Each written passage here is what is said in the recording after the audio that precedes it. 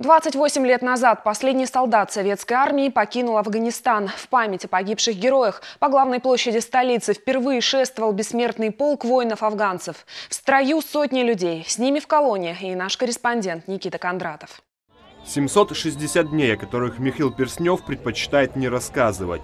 18 лет школьную форму поменял на военную. Курс молодого бойца в Ташкенте, присяга, после два тяжелых и кровавых года в Афганистане. Кто был там, тот испытал это.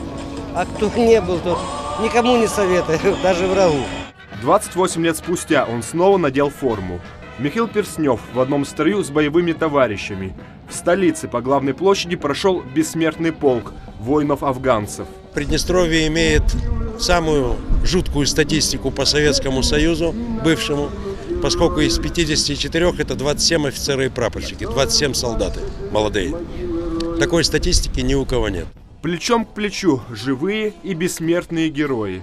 Ветераны, родственники погибших в Афганистане и во время войны в Приднестровье. В руках у каждого живые цветы и черно-белые фотографии героев – Акция общенародная, но война в Афганистане – это личная история многих семей бывшего Советского Союза. 15 числа 75 года мы поженились с мужем.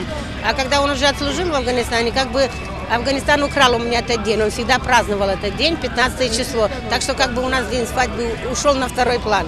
В акции «Бессмертный полк» приняли участие сотни людей. В день вывода советских войск из Афганистана она прошла впервые, но есть уверенность, это станет доброй традицией. Никита Кондратов, Роман Донец. Первый Приднестровский телеканал.